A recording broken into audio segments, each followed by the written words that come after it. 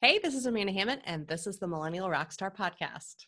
All right, in today's episode, I have Jordan Donovan from Valvoline, and she's going to break some major millennial molds right up front because she has been at Valvoline since the day she graduated from college. 13 years ago. So I want you to listen in and find out how Jordan learned to step up and make herself known instead of just waiting and hoping that her hard work was going to get her the recognition that she deserves. Join us in the episode.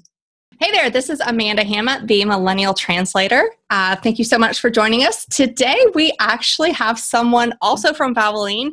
This is Jordan Donovan. Jordan, how are you today? I'm good. Thanks for letting me call in. Oh, you're so welcome. Thanks for coming in. Um, so, tell us a little bit about you, Jordan. Um, well, I've been working for Valvoline for about 13 years in a variety of roles.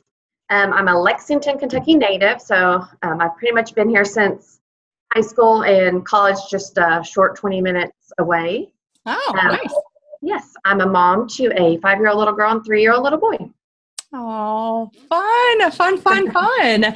so, all right. Now, I, I know that you've done a variety of things since you've been at Valvoline. Tell us about that. Um, very first role transitioning out of high or I'm sorry, out of college and the classroom into the real world, so to speak. What was that like? What was that first role and what was that, what was that like for you? Um, well, when I left college, um, I came over to Valvoline and started working in customer service. Okay. And um, my father had also worked for the company, so I kind of got my foot in the door to get some jobs and um, some just some good experience working in customer service, learning how to deal with conflict management and um, problem solving. So it was it was very good experience. I worked for there about a year and then was able to be promoted into some um, additional roles. That's really, really cool. I, I love that you did the customer service route because I think that a lot of times people come in and they're like, oh, I don't want to do customer service. That's like not cool or not whatever. But I, I really think that customer service gives you a good broad view of the company in general, but also dealing with the general public because at the end of the day, you got to do it. You know, you've got to do right. it. so that's really, really, really cool.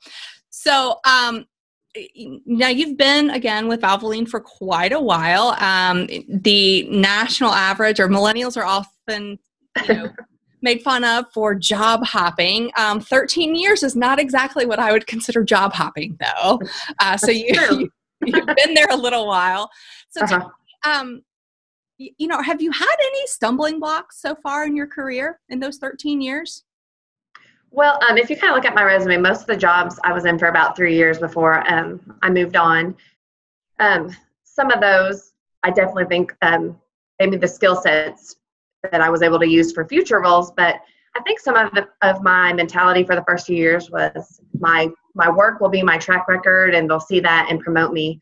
But the last probably couple years, um, as I've developed some mentor relationships, um, they've kind of been teaching me you got to own your career. You got to get out there, put your foot in the door, and try to, um, you know, get get ahead above everyone. So having mentors, I think, has definitely helped me with some of the stumbling blocks that I faced in prior years. Just because um, I have champions now here, bringing my name to the table in some discussions and um, giving me project work or working with my current supervisors to just um, showcase some of my skills. So that's probably helped me in the last few years. Where in past, I probably was like, I'll just work really hard and they'll promote me eventually.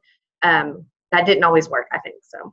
Oh, that's wonderful. I, I'm glad. I mean, I'm sorry that you had to go through that experience of, of not figuring that out, but I'm so glad that you did figure out this, you know, getting a mentor. I think mentorship is one of the things that I advocate most for. I, I think that is incredibly important on both sides of the table, whether you're the mentor or the mentee.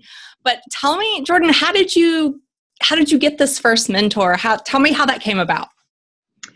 Um, so my boss in a former role, she kind of moved into a different role, and we started a mentor program here. So we kind of kicked off a pilot program and they matched kind of people up with skill sets. So one of the things I wanted to work on was command skills, just being able to present in front of an audience and have confidence.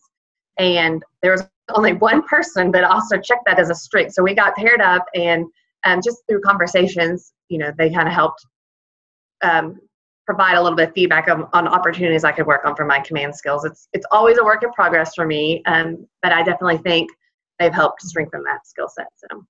No, that is that's amazing. I, I really I love that you knew this about yourself and that you did something about to to further that skill, regardless of the fear. Because I know that the thought of presenting in in front of pu- in front of people is scary to most people. I mean, I I do it a lot, so it's different for me. But most people, it it's it's a major fear, and so I, I'm glad that you attacked it head on. That's really cool, and I think that that's really good for your career as well. Have you noticed a difference in um, now in your growing comfort level with giving presentations in, in front of people? Have you noticed a difference in I don't really know the right word I'm trying to use here, but have you noticed a difference in how you feel like you're perceived by other people, especially the people above you?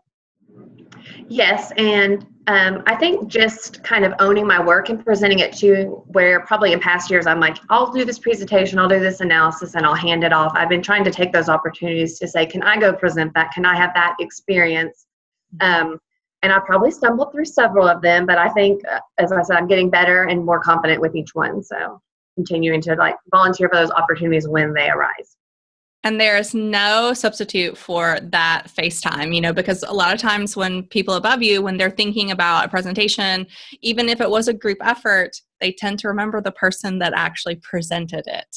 Whether they did none of the work or all of the work, that's the person that they most associate. It's that it's that facial recognition and they have put that face with that group. So Mm-hmm. Good for you for stepping up and and for going forward with that. Now, have you had any other relationships with mentors, or just this one, or? Um, so like I said, this year I kind of I sat with my mentor and I was like, I kind of want to branch across. I thought maybe I'd like some marketing or some digital experience in my next five to ten year career plan. So um, about a year ago, I added an additional mentor in the marketing department. So she's director over one of our brands. Um, so we meet quarterly. Um, we've been busy. There's been a lot of change going on this year, so we probably haven't met as regular. And then um, I added in a VP as well. So we were going to meet quarterly, um, twice a year. You know, we were going to try to meet occasionally. He ended up leaving the company, so I'm kind of searching for that again. But just getting their feedback, how they've kind of navigated their career paths, some stumbling blocks they may have had to watch out, and just um, taking their feedback on you know things they may have learned from that I can that I can use to my advantage. So, absolutely, I, I think that that is I I think that you're doing it. That's fantastic. The the feedback that you're willing to take and and the just putting yourself out there in new and different roles. That's that's serious growth, and that's where a lot of things start. So um, I I feel like women in particular tend to be a yeah. little more. Oh, I'm going to let my work speak for itself. And although you might be the best person at this particular job sometimes it's the person that puts them, puts themselves out there that is right. the one that gets the promotion or the one that gets the recognition. So mm-hmm. good for you. Good for you for doing that. I, I love it. Um, so now is there anything that we've talked about the mentors. Is there anything that a particular boss in the past in, in your various roles or maybe even a coworker has has done that really keeps you engaged or, or keeps you like really wanting to get out there and, and do good work for Valvoline? Um, I've been fortunate that I've had great leaders in in most of my roles, and um, you know, as I've kind of made efficiencies and processes and had additional bandwidth, I can reach out to them to say, you know, I really like to cross train on a different product line or pick up some project work. So they've always been open to that um, our company is great. They do tuition reimbursement. So, you know, I had worked here about a year and I decided I'd like to go back to school and they paid for my MBA. So, I mean, they're amazing about, you know, putting those opportunities. And then most jobs, there's been certifications or skill sets that we can do. So, you know, I did my, when I worked in pricing, I became a certified pricing manager. When I was in supply chain, I worked on my APICS certification. Mm-hmm. And then right now we've been having um, some negotiations looking for opportunities to certify some product line management. So they're always willing, I feel like, to go the extra mile to train us to be more proficient in our jobs. So that's really cool. Now, um, besides the additional training and, and continuing education and the tuition reimbursement, I mean, that's fantastic. Is there anything else that you can think of that Valvoline offers uh, as far as like benefits or perks that has just been that makes you feel like hey they they see me as a human they want me to do my best Is there anything? Um, well, like I said, if you look at if you look at my resume, I've been here 13 years. They typically promote within when possible, so I feel like that's kind of a leg up over external mm-hmm. candidates. Um, the tuition reimbursement, we're we're heavily involved in the community. We do the habitat builds every year, the the mm-hmm. Big Brothers Big Sisters.